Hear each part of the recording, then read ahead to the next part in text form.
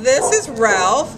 His kennel number is as an apple 4788527. He is a short haired Chihuahua mix and he's about eight years old.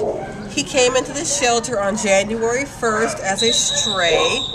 He's an elderly gentleman, but for an elderly gentleman, he has a lot of great energy. He likes to walk on a leash. He's interested in other dogs.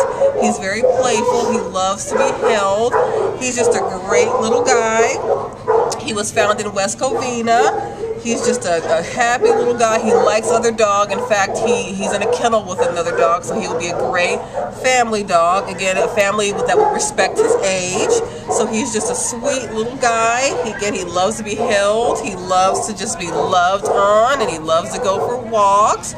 He's just a sweet guy. I don't think he's house trained though, so he may need a little bit of training on the leash, maybe some basic obedience training, training. But I think he will be a great dog, and he will be a great addition to any family. Again, he's he's not a puppy, but I think that that can kind of work to your advantage because he, he won't do puppy things. It'll probably be easier to train him since he's not a puppy.